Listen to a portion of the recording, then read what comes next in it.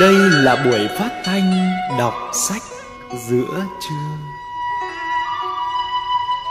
Đọc sách giữa trưa.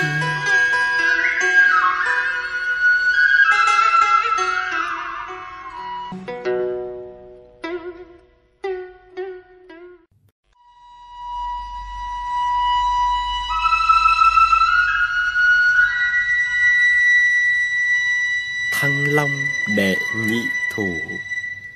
Thơ chữ Hán của Nguyễn Du, Trong tập Bắc Hành Tạp Lục.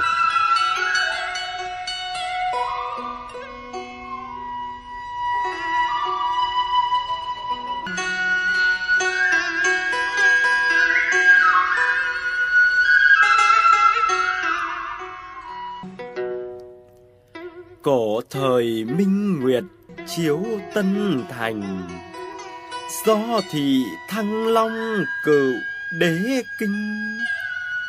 Cổ hạng tứ khai mê cựu tích. Quản huyền nhất biến tạp tân thanh. Thiên niên phú quý cung tranh đoạt. Tảo tuế thân bằng bán tử sinh. Thế sự phù trầm hưu thán tức, Tự ra đầu bạch, Diệt tinh tinh.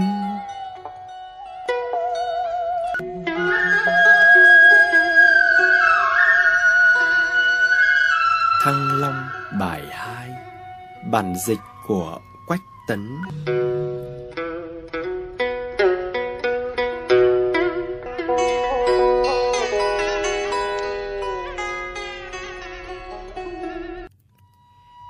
Thành mới trăng xưa bóng tỏ mờ.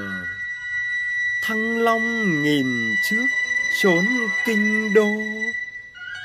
Dấu xưa khuất lấp đường xe ngựa, Điệu mới xô bồ. Nhịp trúc tơ.